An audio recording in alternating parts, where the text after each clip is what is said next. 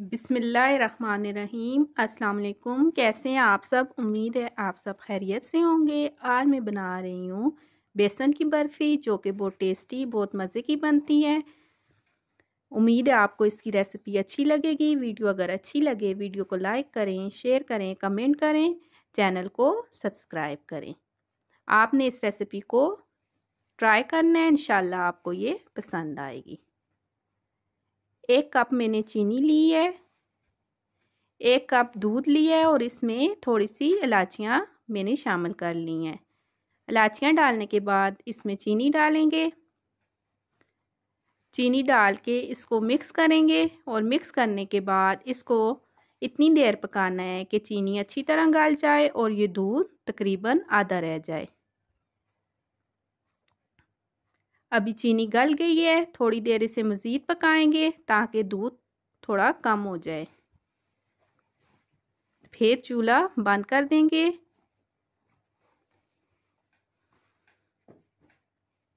Oil लेंगे half cup half cup oil में one and half cup मैंने बेसन डाला है।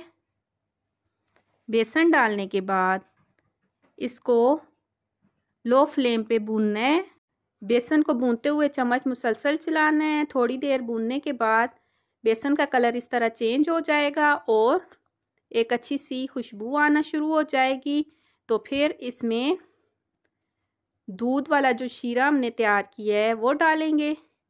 डालने के बाद इसको मिक्स करेंगे और फिर इसमें वन कप घर की फ्रेश मलाई डालेंगे। मलाई डालने से इस बर्फ़ी का जायका बहुत ही मज़े का हो जाता है। एक चुटकी नमक लेंगे, वो इसमें डालेंगे। अभी इस बर्फ़ी को पकाना है अच्छी तरह। ये थोड़ी देर पकाने के बाद इस तरह गाढ़ी होने शुरू हो जाएगी। जिस बर्तन या ट्रे में आपने बर्फ़ी डालनी है, उसमें अच्छी तरह आयल लगा लें और फिर इस बर्फ़ी में थोड़े से मैंने पिसा हुआ नारियल और सफ़ेद तिल डाले इससे इसका जायका और भी मज़े का हो जाएगा। ये बर्फ़ी अभी आहिस्ता आहिस्ता ये देखें, बर्तन छोड़ रही है।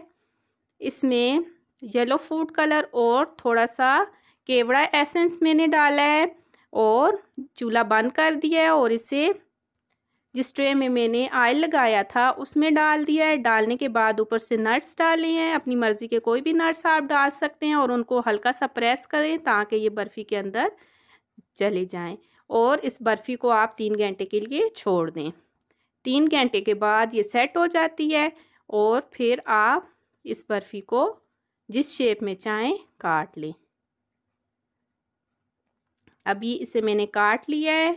अल्हम्दुलिल्लाह, माशाल्लाह, बेसन की बर्फ़ी तैयार है, जो कि टेस्ट में बहुत ही ज़बरदस्त होती है और बहुत जल्दी तैयार हो जाती है। आपने भी इस रेसिपी को ज़रूर ट्राई करना है। इंशाल्लाह आपको पसंद आएगी। वीडियो अच्छी लगे, वीडियो को लाइक करें शेयर करें कमेंट करें और चैनल को सब्सक्राइब करें। मिलेंगे इन किसी अगली वीडियो में किसी अच्छी नई रेसिपी के साथ। तब तक के लिए अपना ढेर सारा ख्याल रखना है, अपनी दुआओं में याद रखना है। अल्लाह हाफिज़।